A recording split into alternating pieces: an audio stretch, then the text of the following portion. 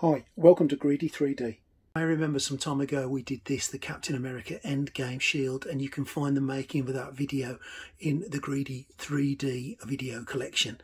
Uh, today, though, we're going to be making this, the Captain America Shield. I'm going to make it all on an Ender five. I'll show you where I got it, how to make it, how to paint it. Stay tuned. The version I've got today, I've got from the Etsy website. Now, there's lots of free versions of the Captain America shield all over the place. You can find them at Thingiverse and, and, and sites of similar ilk. But this version I liked because it splits it into 11 parts uh, in two versions. There's a thinner version that you can just use to hang on your wall, or there's a thicker version which is a bit more robust that you can use if you want to do cosplay.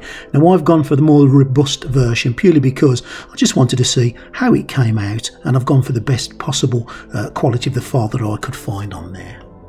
And here we have it loaded into uh, Ultimaker Cura, as you can see. Now, if we try to print this at 100%, it would not fit on my build plate. You can see that. And I've got an Ender 3 and an Ender 5. And most people have got that similar kind of size. Now, reducing it down to 75%, We'll get it to fit nicely on the build plate and we'll also give you a really really good sized shield. Um, you're not losing too much of it. Now if you've got a bigger printer like the CR10 and you can get it on in one go then that's great marvelous but for me 75% is absolutely fabulous. Um, I've just placed it down on the flat edge to print as you can see there. Uh, and the other thing is if you really wanted to you could probably get away with printing two or three of the same uh, design on the same build plate. Now, I haven't done this, I've done this one at a time, and I'll show you why in a moment, but technically, you could do that and here we see the Ender 5 it's printing it nicely. Now the settings I've used on here are just standard settings. I've used no supports at all and I've laid it flat on the surface. Just put some um, as you can see printers tape down to give it a little bit of support. It's 200 degrees uh, for the filament and 50 degrees for the actual uh, build plate. And I'm using some Tinmorry PLA which I got from Amazon to do the printing. Um, I'm quite happy with the standard print quality because I'm going to be doing a lot of sanding and a lot of finishing at the end of it. So I'm going to pick up any loss in any surface on that sanding aspect right at the end. And there we go, there's the end result. Um, just standard quality looks absolutely fine. Now there's some marks as you saw on the bottom lower segment of that, but that will sand out nicely. And I'm not too fussed because as I say, most of my uh, effects are going to be post-workout when I sand it down. Now here's the reason why I only did one at a time. Print failures, we've all experienced them on our PLA printers, but at least here I've only lost the one segment. The last segment's now been printed and it's the circle piece. I changed uh, the setting slightly in, in essence that I had a support structure and I didn't use tree supports, I used normal supports which gave it a lot more rigidity uh, for this to print and it printed in one go again at 75% to match the rest of them. Something I've used to connect them together, I have used some super glue, some Gorilla Glue, but I've also used a little bit of plastic welding that I've never used before really. Um, so a hot soldering tool and I've just uh, touched the edges together and given it uh, some strength. Now there was a few problems getting it to actually meet, so this uh, welding technique really did give me a lot of help and held it together uh, in a firm fashion. And now you can see that I'm going to be filling the gaps that are inevitably going to be there on any design or project like this. And I'm just using some Ronseal wood filler to do that, putting it on and just uh, liberally squishing it in between the gap and then spreading the outer layer on. Now, you know, necessarily more isn't better, but I like to really lay on thick and make sure that all those gaps are covered. And I will be sanding this off when it goes off. Um, it takes about a day for it to go off properly. Now, they say you can sand it in two hours, but I've left it for a day just to make sure it's absolutely firm as a worm. And um, that's filled all the gaps that you saw in the uh, pre-production uh, version there and uh, over to the sanding stage.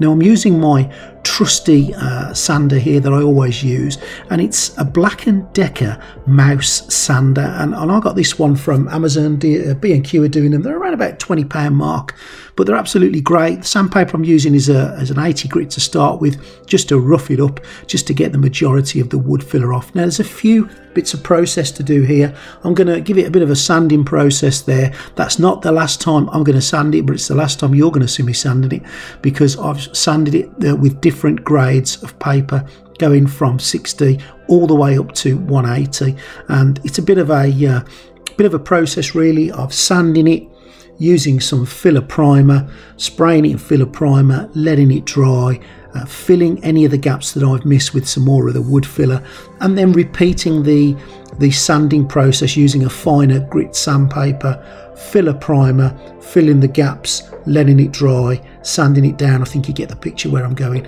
Um, you can put as much work into this as you want to or as little work as you want to but the end results will be dependent on how much work you put into the main body of the shield and there we go. There's the filler primer, um, Hycote filler primer, around about seven or eight quid off Amazon, but you can get it in all sorts of places. And it is literally a case, as I said previously, of just uh, getting it on there. And what the filler primer does is it fills some of the smaller gaps, but it also highlights some of the problems with the shield to allow you to then do the filling and the sanding and the repeating process again. Uh, for me, I love it because it just it does exactly that, highlights the errors and the problems, and you can see them at this stage rather than when the uh, the nice paint goes on. It's now time to vibranium up the shield and we're using some Rust-Oleum metallic chrome paint. Uh, just some light coats of this and uh, look at the effect straight away. I love this paint. It goes on really thickly so you only need quite thin coats but oh it does really do the job and there we go. Light coats all over and uh, it's gone from being a horrible yellow uh, primer filled colour to vibranium.